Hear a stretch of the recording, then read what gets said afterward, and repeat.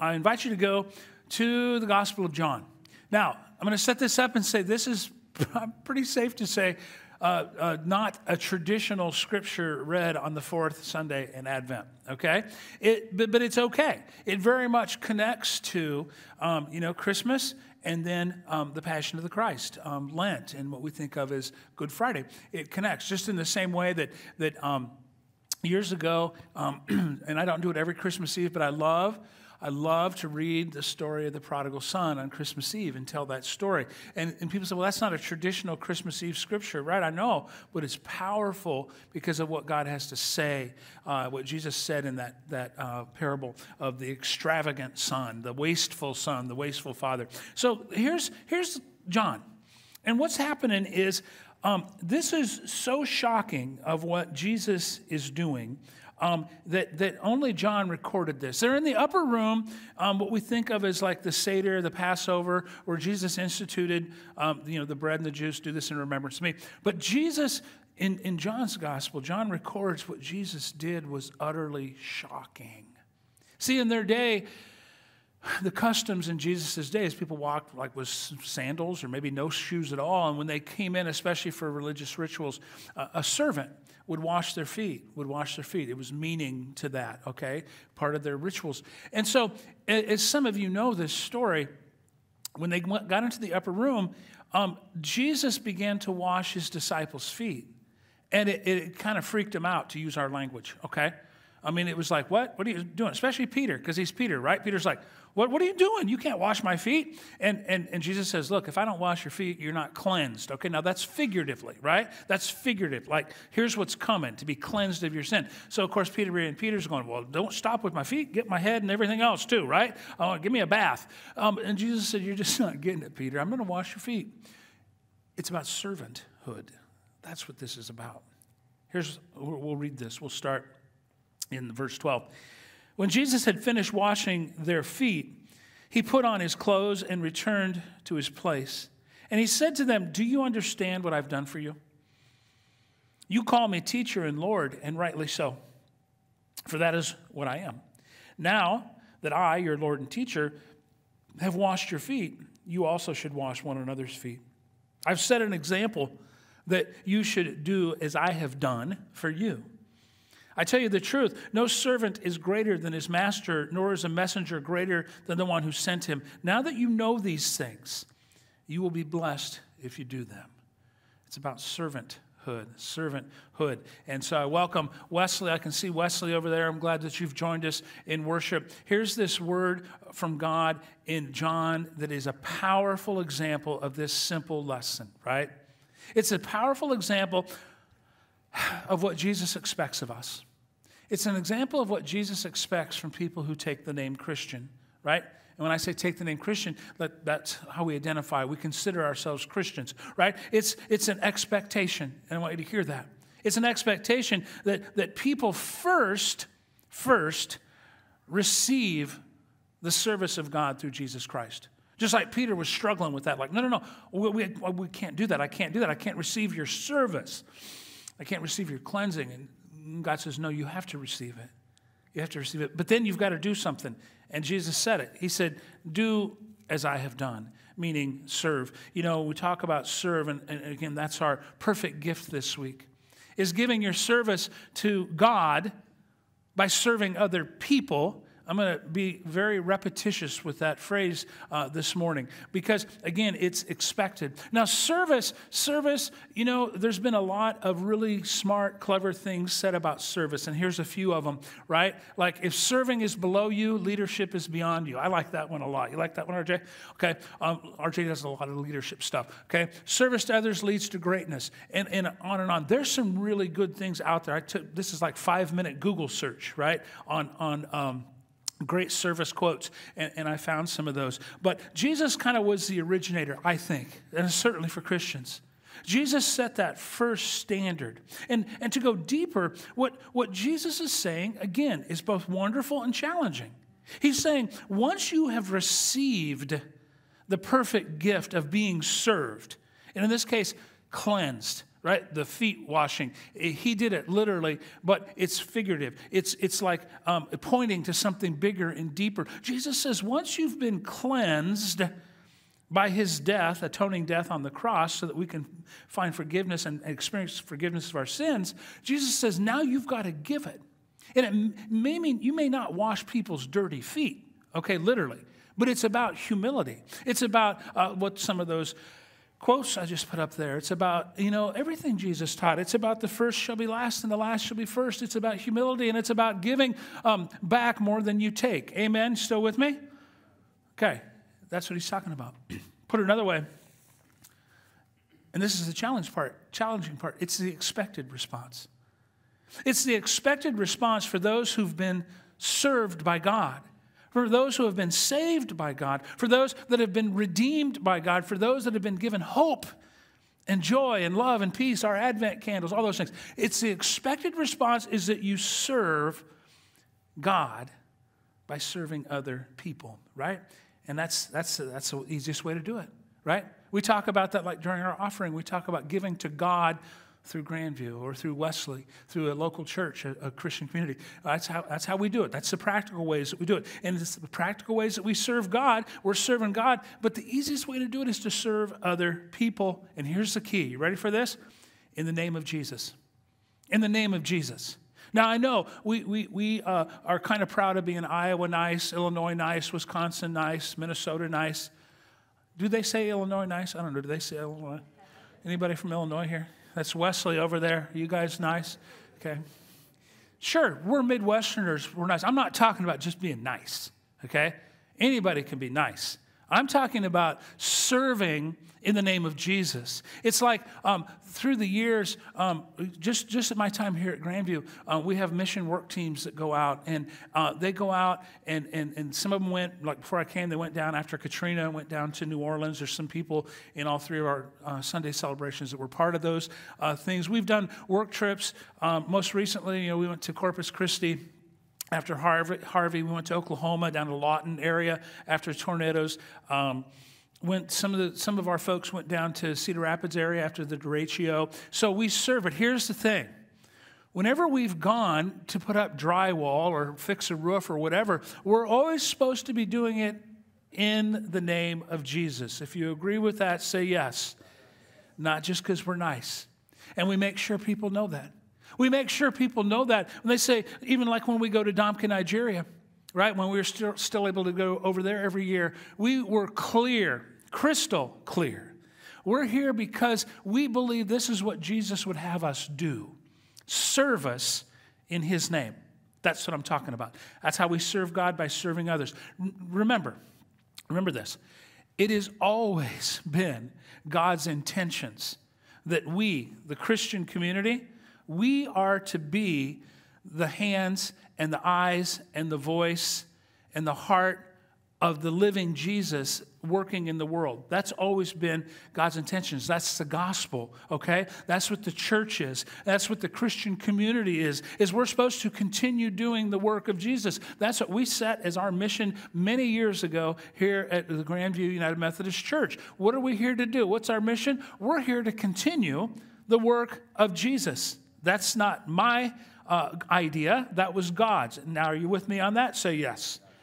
Good. We like these conversations. This, the sermon's shorter, and we can get to little drummer boy sooner. Are you with me on that? Okay. okay. See, Jesus came to serve. It's another place he said it in Matthew. Okay. Jesus said, I didn't come to be served. I came to serve and to give my life as a ransom for many. So here's where I'm going with this. What would, what would it look like if this Christmas you stepped up your game? What would it look like this Christmas if you found ways to serve God in new ways or in better ways or in different ways, especially if you aren't already serving God by serving other people? And keep in mind, I'm talking both within the walls of the Christian community, this building here uh, in Dubuque, and the building across the river uh, in, in Wesley um, down in East Dubuque. Um, it, you know, I'm not just talking about serving here. I'm talking about serving other people in the name of Jesus all over. Now, I want to say this. I acknowledge that, that I, am talking to some people right now and, and some people online that, man, I am so grateful for your service. It's like I said yesterday, I am so grateful that we have people that, that can come in and, and, and work with a bunch of whiny, snotty nosed kids. You understand what I'm saying? And figure out whether they want to be a chicken or a duck or a donkey or whatever's in the manger, giraffes. Okay? There are people that are patient and loving to do that, and they're serving God by serving our children. If you agree with that, say yes. And I'm grateful for the people that, that work with our youth, our middle school and our high school youth. Kendra Kunkel's come on and helping me teach confirmation, and she's serving. She, she could be home doing something else. She could be hanging out with the grandkids over there with Billy, uh, right? But, but she serves, okay? There are people that come every single Wednesday and pray for you. They pray for you and they pray for me. They're called prayer shepherds. They meet every single Wednesday during the day they're serving. There are people that greet. There are people that run cameras and run sound and, and, and run our TV studio up there. These are people I'm grateful for because they're serving God by serving other people. Um, you know, I think every week, uh, Jeannie Conley's in here watering plants. Is that every week, Jeannie? Yeah? See, it's a behind the scenes service, but she's serving God by uh, uh, serving us by keeping our plants healthy. So when people walk in here, they don't go, man, these people can't even take care of their plants. They must not be able to even care for me. Do you see the connection? We have people that serve by doing things like mowing the grass and doing landscaping, clearing the snow, and they're serving God by serving others and others not yet here in the same way. Um, see, when people are church shopping, right, they, they, they, they look at that stuff. So if these people can't even take care of their lawn, if these people can't take care of their sidewalk, if they can't take care of their roof, if they can't take care of keeping the, the, the glass clean, maybe they can't take care of me. Okay? Is that fair? Does that make sense? Say yes. See, people serve here, and I'm saying thank you to the people that serve in so many ways, right? And I, I want to tell you this is that I think for the most part, if you ask people, if you ask people um, about their, their serving, like here at Grand View or over at Wesley, or they're serving out on a mission work trip or doing something, if you ask them about it, I think they would probably tell you that it's very fulfilling. It's very meaningful and it's fulfilling. In other words, they get back probably more than they realize when they make the sacrifices and give the time and the effort and the energy to serve. And I'm saying up it a notch. And instead of serving out of guilt, or instead of serving God by serving others um, out, out of a sense of duty, right? Consider serving God as a response to the truth that God has first served you and saved you and offered you hope and a future. That's what I'm pushing on this morning. And so, as you're sitting here listening to this, or if you're online listening, or over at Wesley, and if you realize the truth that you aren't engaged in serving God somehow, somewhere, but instead, you're mostly being served. I mean, if you're really honest and you think about that, and you start kind of taking an inventory, and you realize you realize that, that, that maybe you're kind of looking at your Christian community as a cruise ship. Do you know what I mean? Uh, anybody here ever been on a cruise? I've never been on a cruise. Okay, what you go on a cruise, you like get on a big boat. I get that. You get on a big boat, um, and, and then you eat too much, drink too much, entertain too much, and you got people serving you. I pretty much sum that up, how that works. That's not us. That's not the church. We're not a cruise ship. So I'm going to say it again. If you're listening to me talking about serving God by serving others, and you realize that really you may not be serving, you're just kind of consuming and being served, what can you do about that? And that's what I want to help you with, all right? First, I want you to understand that it's deeper. In, like I said, it's not guilt. And it's not like, well, we need more Sunday school teachers. I better beat these people over the head with some guilt so they'll step up and do it. That's not what I'm about. What I'm about is this doing my part to help save your soul, to have God save your soul. Meaning, doing my part to help you put yourself in situations and, and, and uh, positions for the Holy Spirit of God to form and transform you. The, the, the, the, really uh, blunt way I've put that is you put yourself in positions and situations where God's Holy Spirit will run you over and change your life, your head, your heart, right? Service is part of the deal, period. Is that serving is part of the discipleship process, okay? It is. It, again, it's not just you need to do this because we need uh, Sunday school teachers, we need ushers and greeters, we need somebody to, to scoop the sidewalk. No, no, it, it's to help you. It's to help you be in a position so that God's Holy Spirit will form and transform your thinking and your attitudes so that over time you really do become more like Jesus. Discipleship. That's why this is important, right? And, and, it goes to that thing of, of putting yourself in the position, God really will work. God really will change you. I, I, I use this example. For example, um, years ago, when we started going over to Nigeria um, and taking teams over, and there's a, a team, there's, there's Melissa and, and Hannah, and there's Blaine, and there's Matt uh, up there. Okay, there's our friend Harry in the red shirt, you know. And so, whenever we t- would take teams over to Nigeria, I always remind them, like, you know, it would seem like we're the great, you know, white missionaries going over to, uh, you know, to do things and to change them and to teach them, and exactly, it's the exact opposite. You agree with that, Matt? We put ourselves in a position over there. Yeah, we're trying our best to serve God by serving the people of, of Nigeria and, and in, in Jalingo and in um, Domka. But, but the truth is, we put ourselves in those positions and then we watch and we observe our Nigerian brothers and sisters and we observe their faith and we observe their practice of Christianity in the midst of a really dirty, hard, difficult, corrupt world, right? And it changes us. You agree with that, Joey? Yeah? Melissa, who else is with Nigerian alumni in here? Okay? It's dark out there. It's an example of what I'm saying. Is that we serve, we serve in the name of Jesus, we make this multi thousand mile trip over there, some of us, to serve these kids. And, and, and the, uh, we give what we have because you can't give what you don't have, right? So we have money and we have the abilities to jump on Lufthansa Airlines and fly over there, and, and, and we're still serving them in the name of Jesus by sending money over to, to fund this. Like, like in the background, you see that, that, that silver roof thing is not a hay shed or a cattle shading place, that's the school. That's the school for, for a couple hundred Christian and Muslim children to, to go in and learn basics out there in the middle of nowhere, and it is absolutely changing the trajectory of their lives, period. Okay? And that's because of you, it's because of us, it's because we take seriously about serving God by serving other people, including the, oops, that's the wrong slide, including, there it is, the least of these.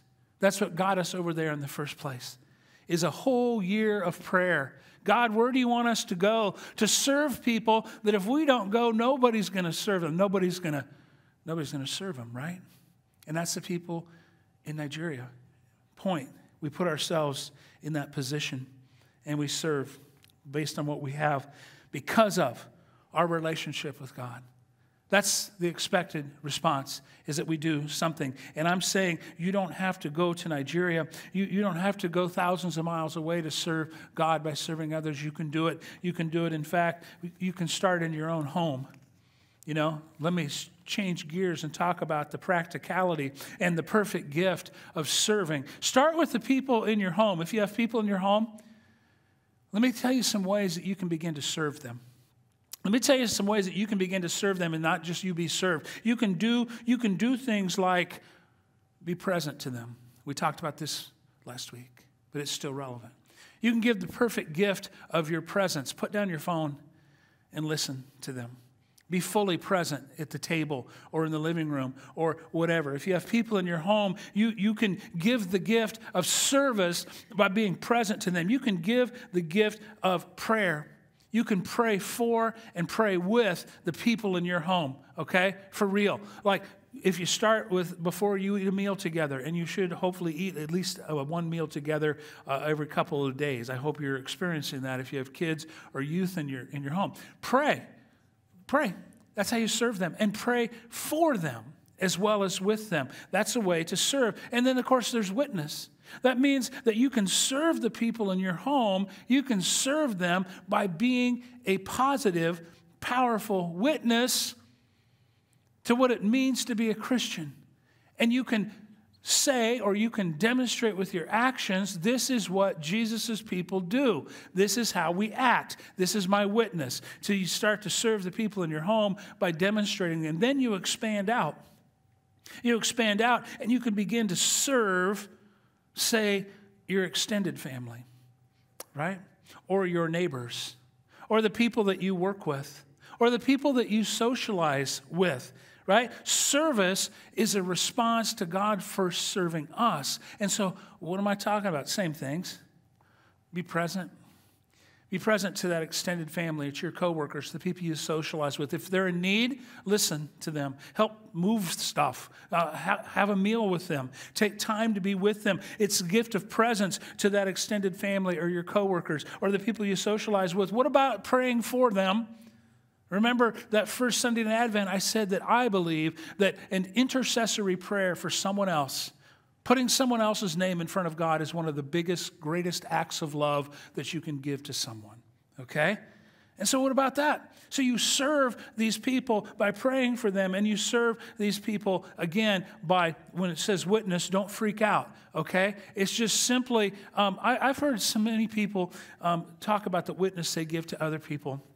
I'm fortunate, I'm blessed that we have a great Tuesday men's cell group, you know. And, and I always think about Matt Booth's story about when he first started getting active in church and coming to cell group, and he works out with guys at the Y or whatever. Is that right? And they're like, Where are you going, Matt? He's going, Oh, I'm just going uh, to, to this meeting, right?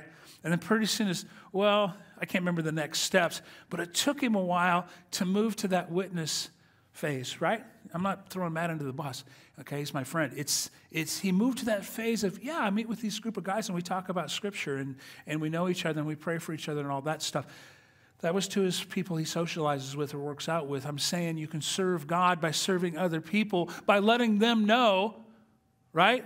By being uh, out that you're a follower of Jesus, not a not, not you know, uh, uh, um, not a, a CINO, a Christian in name only. That's how you can serve other people. Is, is by your witness about your experience with God and your experience with the Christian community. And then it, it goes like this. See, certainly you can be put into a position for God to grow you and God to change you. You can give the perfect gift of service, not just to your household, not just to your extended family, your coworkers, and the people you socialize with, but certainly to other people within the walls of Grand View and the walls of Wesley United Methodist Church in East Dubuque and other places outside the walls, you can get involved. It's this truth is that it takes all of us. And I'm going to go back to this truth. This truth is, is, is I formed this idea many years ago and shared this with Grand View. We used to run around with t shirts on that said uh, uh, uh, hospital ship crew. Remember some of those? Said crew. Why? Because I believe that God's design of the church is to be a hospital ship. And I'll say it again, not a cruise ship. If you agree with that, say amen. Not a cruise ship where some people or a lot of people are served and, and, and 10 or 20% do all the serving and burn out and get tired. A hospital ship. See, a hospital ship is mobile. A hospital ship is on the move. And what specifically, this is a hospital ship Mercy, okay? There's another hospital ship called Comfort. I didn't want to put Comfort up there because I didn't want anybody to be too comfortable today. Seriously. mercy, mercy. It's hospital ship mercy. What, what's it designed to? Well, it goes to where the hurting is. We've always said that. It responds to where people are broken and burned and bruised and beat up. And so the, my vision many years ago, and it still, it still persists, is that God's design for us, the Christian community, is to be on the move and to be active and to still respond daily, weekly to those who are hurt and burned and broken by the world, right? It's that truth that we've said all during Advent. Never forget there are people all around you who need God.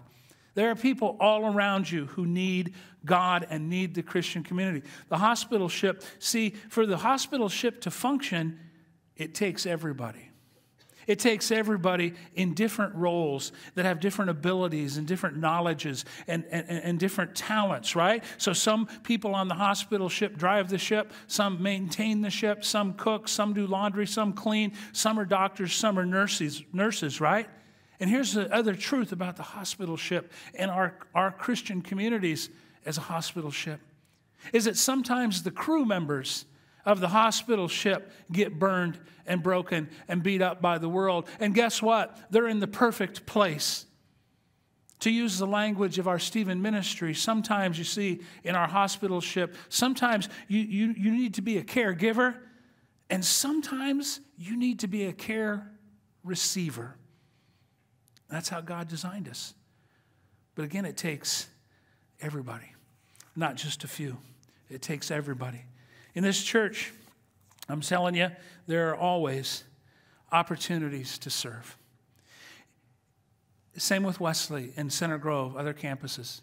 There are always opportunities. If you feel like, I don't know, where can I serve? We have so many opportunities.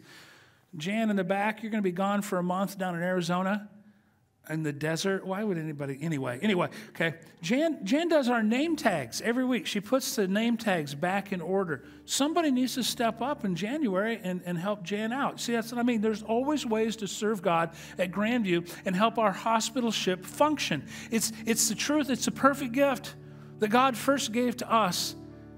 And we've been saved and cleansed by Jesus. We've been served, and now it's time for us to serve. You know, I've always been optimistic but I have to admit, I've always been naive. I've always been naive. I've always thought in this, maybe it's just preacher math, preacher equation, that it would seem like if you've got a, church, a Christian community, and you've got a lot of people who are really, you know, excited and grateful, maybe in loud ways, maybe in quiet ways, but they're grateful for how God has served them. I always thought if you have a church and, and you have people, adults, that are really, you know, um, in, all in, not just go through the motions, but they're grateful for the salvations God has given them. To me, it's always seemed like, well, we should never, ever have to push hard to get Sunday school teachers or vacation Bible school teachers. We should never have to push hard and we won't ever beg, but we should never have to constantly ask and ask and ask for people to be ushers and to be greeters and to serve cookies and to serve coffee and to, to do all the different acts of service. We should never, in my naive mind, have to push hard and twist tails to get people to serve God by serving others if they've first been grateful and acknowledged the way God has served them. So that's our challenge, all of us, this Christmas. How can you step up? How can you step up and serve God by serving other people? Not just in your own home, not just extended family, here and outside these walls. May God help us. May God help us with that. Let me pray about that. Lord God, you do know us and I pray you forgive us for the times that we just would rather consume and we'd rather have people do things for us. And sometimes we even complain about it. Forgive us, Lord. And help us to do better, all of us. I pray, Lord God, I pray, Lord God, for those people, your people, both in these church buildings and outside these church buildings. I pray for the people that need you. I pray for the people that need positive, meaningful, hospital ship Christian community. And I pray, Lord, that you continue to grow us and energize us to be the people that you will use, that you will use to help and to bring healing to those that are burned and broken and bruised. Lord, I pray that this Christmas and in the new year, I pray that you raise us all up in new ways by the power of your Holy Spirit. I pray this in the name of Jesus. I pray it for all of us, and all of us pray out loud in one voice the prayer Jesus taught us to pray, saying, Our Father, who art in heaven, hallowed be thy name. Thy kingdom come, thy will be done, on earth as it is in heaven. Give us this day our daily bread and forgive us our trespasses, as we forgive those who trespass against us. And lead us not into temptation, but deliver us from evil. For thine is the kingdom, and the power, and the glory forever. Amen. Amen.